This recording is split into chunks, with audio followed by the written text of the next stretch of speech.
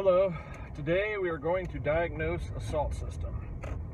Uh, the reported problem is it's not producing any chlorine. The pool has zero chlorine and they can't get it to produce chlorine. So I'm going to go over there and show you how to diagnose it and ultimately solve the problem.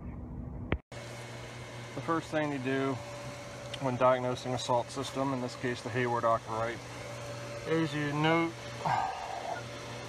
where the chemical should be for this thing to work right. Now the out chlorine output, the unit should be able to get it to between 1 and 3. If it's not reading anything, you check your pH, make sure that's right, your alkalinity stabilizer, calcium. But the most important one, and the really only one you need for diagnosing it, is get the salt level at the appropriate 2700 parts per million to 3400 parts per million. Any lower it's not going to work, any higher the unit will shut off and not work. So make sure the salt is at the appropriate ideal level before proceeding any further with the diagnosis. I know they've been adding chlorine manually to this pool since the salt system doesn't work and they say they've had to add a lot of water before they got a leak fixed so the salt's probably low. That 3200 reading is probably wrong so the first thing we do is check the salt in the pool. There are many ways to check salt in a pool, meters, and you can take it to the pool store. The best way I like doing is just some salt test strips like this product right here, AquaChek. Okay, the top strip is black, and let's see what the salt reading on this pool is. Goes up to about 5, about 5.6. So let's compare that to back of this thing. And we're looking at about, I'd say 5.8 actually. About 2500, 2600 salt, which is low.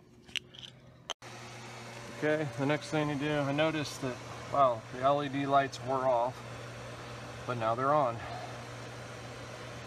Which, now they're off, so there looks like there's a problem with the main board on this those lights should always be on. The power one's off right now, even though the unit's on.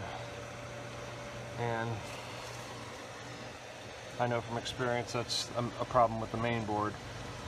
But, so what we're gonna do, we're gonna remove this panel and take a look at it. Okay, the old board is out.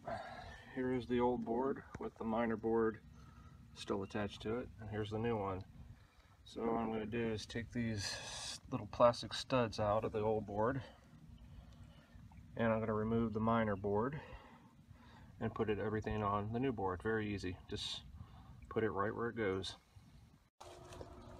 Okay, the new board's set into place. Now all I gotta do is plug in the wires and they'll remind you that do not plug in the salt cell until you program it for the right cell out of the factory. They're for the T15. But if you have a different cell, you need to program the menu just for that cell before you plug it in. So that's very important. Okay, the new board is in and all the wires are connected. And they come default set up for a T15 cell, their salt cell over here, which is what I have, so I don't have to do any additional programming.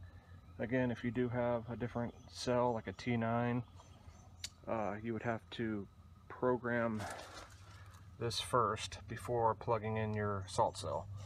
And that's easy to do. That's something just to note.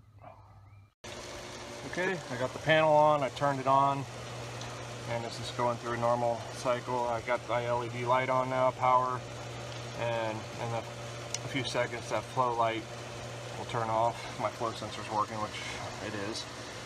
And the salt reading looks a little better than it did. Last time I was saying 3,500, even though the pool is about 2,600, so that's within a margin of error that's good.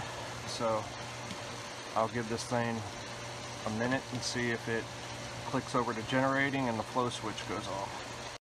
Okay, about a minute went by and power on. None of the other lights are on, which is good. I said about 60% output. Salt reading looks about right. This thing is fixed.